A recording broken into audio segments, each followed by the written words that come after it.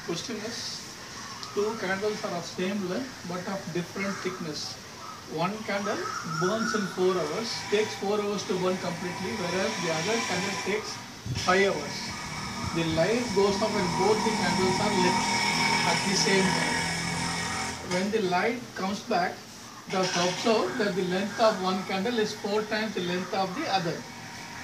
For what period the light was off? For what period the light was off?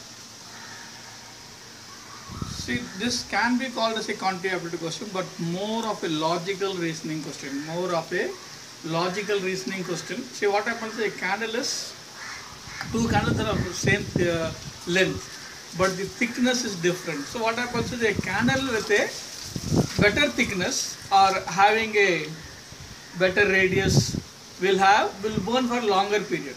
The candle with a better thickness or a longer radius will burn for a longer period. That is what is happening. And what happens when a candle is lighted, it starts melting. When a candle is lighted, it starts melting. So when I see it all on a sudden, I'll only see the unmelted portion of the candle. I only see the unmelted portion of the candle. That logic is to be applied here. I'll only see the unmelted portion of the uh, candle. So that logic is to be applied here. Again, equation solving will also be involved. So let the length of the candle be L and L. The lengths of both the candles are same, L and L. One is thick and what is one candle is it takes 5 hours to burn it. In 1 hour, it will burn L by 5. In 1 hour, it will burn L by 5.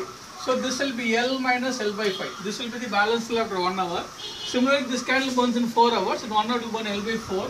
So L minus L by 4 is the balance of this candle after 4 hours. Or sorry, after 1 hour.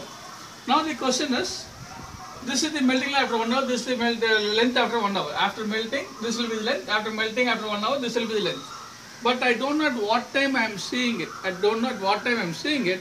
Had it been exactly after 1 hour, this will be the equation. But then, because I don't know when I am seeing it, I'll have to introduce a constant factor. I'll have to introduce a constant factor for the time. I'll have to introduce a constant factor for the time for the melting length. Time for the melting length.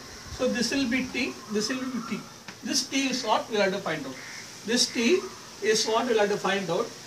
So uh, I'll introduce the time factor for the melting length. Time factor for the melting length. So that is T. That variable is T. I told us constant. Actually it is time factor.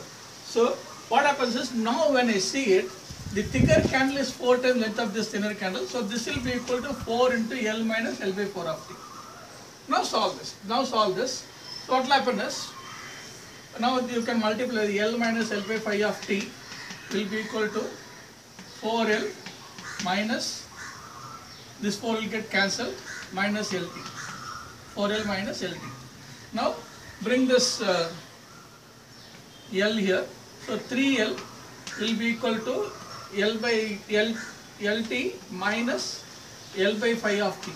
Now what will happen is this 5 will get uh, this will be 5 LT, LCM is 5 minus LT divided by 5 will be equal to 3L or 4LT will be equal to 15L, L will get cancelled out, 4T will be equal to 15 or T will be equal to 15 by 4. T is 15 by 4 which is nothing but 3.75. 15 by 4 is 3.75. It is talking about time so it will be 3 hours and 45 minutes. Some of you might make the mistake as 4 hours and 15 minutes. See the time is 60 seconds. 60 seconds is 1 minute. 60 minutes is 1 second. So whenever it comes in decimals, this 0.75 you'll have to multiply into 60. 0.75. This has to be converted into minutes. You'll have to multiply into 60. It will be 45. This will be 45. So it will be 3 hours and 45 minutes. The answer is 3 hours and 45 minutes don't make the mistake of giving us 4 hours and 15 minutes because 0.75 that 0.7 has to be multiplied by 60 because we are converting this hours into minutes. So whenever hours into minutes converted multiplied by 60. Subscribe to my channel, learn aptitude free of cost, practice and uh, take test in my website and also earn 1000 rupees. So wish you all the best.